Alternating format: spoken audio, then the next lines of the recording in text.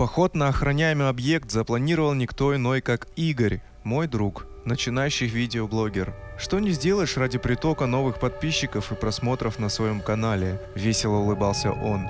Даже на охраняемый секретный объект залезешь. На самом деле нас не отпускало тревожное чувство.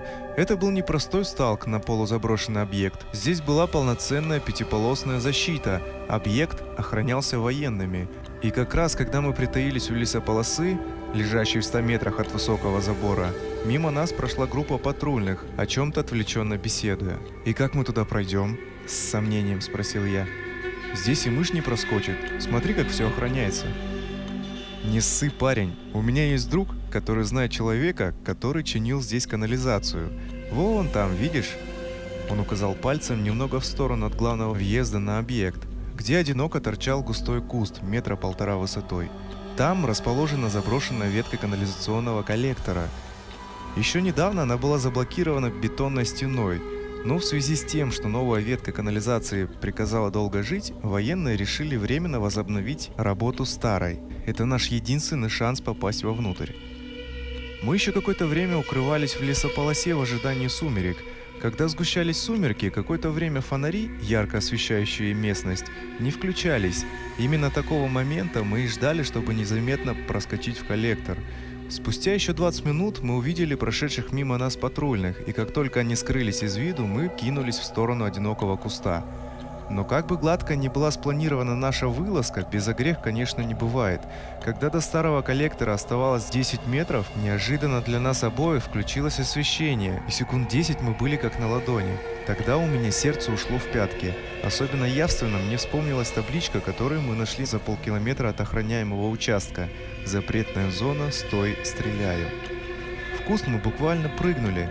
Бешено колотилось сердце, а мы затихли, прислушиваясь к окружающим звукам. Не было слышно ни звука тревоги, ни топота ног патрульных.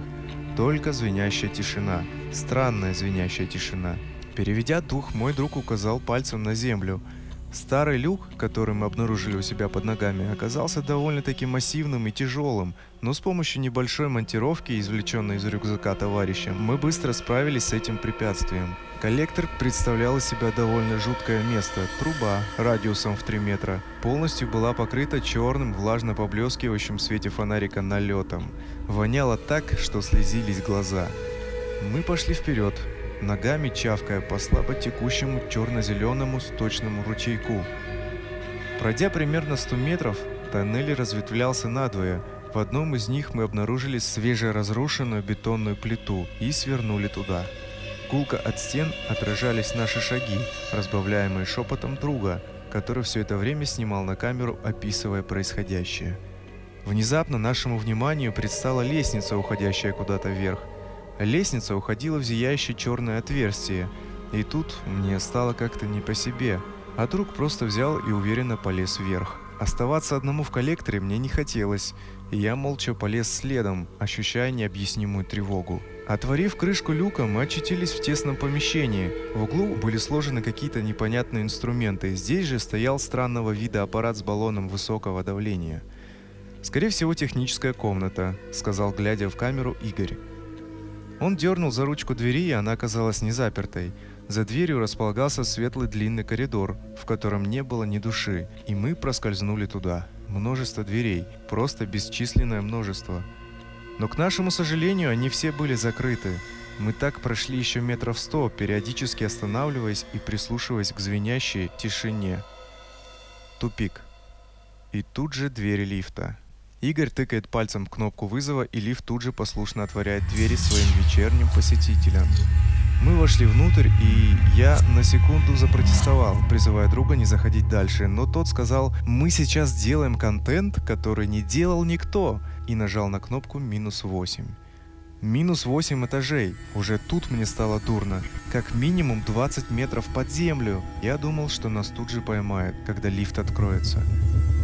Но и на минус восьмом этаже мы не обнаружили ни души. Снова ярко освещенный коридор с множеством комнат. Снова, опробовав ручки, мы не обнаружили открытых помещений. И вот последняя комната в конце коридора. Помню это как в замедленной съемке.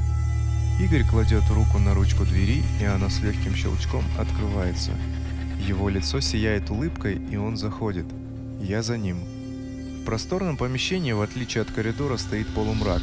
Но мы видим, что в конце комнаты в углу виднеется темное пятно. Мы медленно двигаемся в сторону этого пятна и упираемся в стеклянную стену, не дойдя до него примерно 5 метров.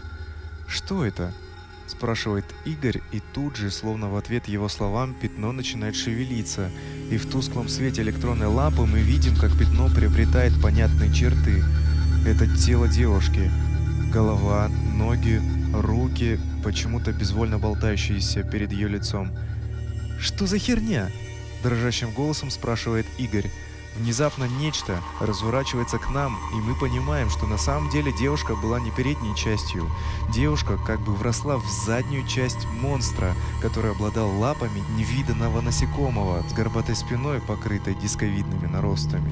Конец тела венчала низко наклоненная зубастая голова, с которой стекала густая бурая слизь. Внезапно из-за стекла послышался приглушенный крик странной твари, и она, разогнавшись, ударилась в стекло. От увиденного мы оба пришли в ужас и оцепенели. А тварь тем временем, разогнавшись, снова ударилась в стекло, по которому пошла видимая нам трещина. «Бежим!» – крикнул я, и тут же мы выскочили в коридор, слыша крики и биение об стекло из той же самой комнаты. Я бежал первым, и первым нажал кнопку вызова лифта, и уже заскочив в лифт, мы слышали звон рассыпающегося стекла. Мы смотрели в длинный коридор, где на краткий миг воцарилась тишина.